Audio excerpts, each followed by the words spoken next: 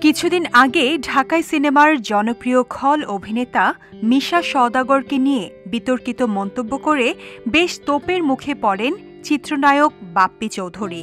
তবে সপ্তাহ না পেরোতেই প্রশংসায় ভাসছেন শ্বশুরবাড়ি জিন্দাবাদ টু খ্যাত এই তারকা।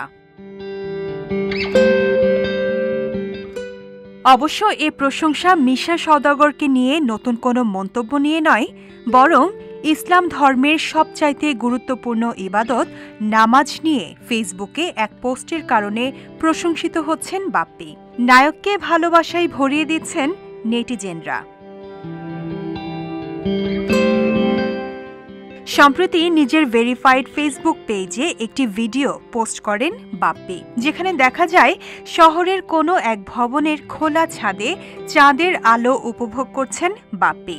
আর তার পাশে দাঁড়িয়ে একজন যুবক সেখানে জায়নামাজ বিছিয়ে নামাজ পড়ছেন। ভিডিওর ক্যাপশনে ওই যুবকের নামাজের বিষয়টি আলোচনায় আনেন বাপ্পি। তিনি বলেন, হাজার ব্যস্ততার মাঝে এই ভাইটা তার সব কাজ ফেলে আল্লাহর ইবাদত করতে ভুলেননি। তাই মনে রাখতে হবে সব কিছুর উপরে আমাদের ইবাদতটাই শ্রেষ্ঠ। ফেসবুকে বাপ্পির এই পোস্ট মনে ধরেছে নেটিজেনদের। এখন পর্যন্ত ষোলো হাজারের বেশি রিয়েক্ট জমা পড়েছে। ভিডিওর নিচে একজন মন্তব্য করেন, আপনার উপর ভালোবাসাটা কয়েক গুণ বেড়ে গেল।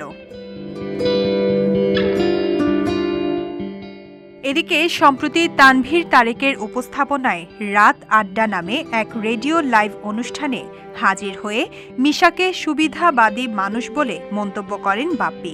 জানে বিতর্কের ঝড়ে পড়েন ইঞ্চি ইঞ্চি প্রেম সিনেমার এই নায়ক।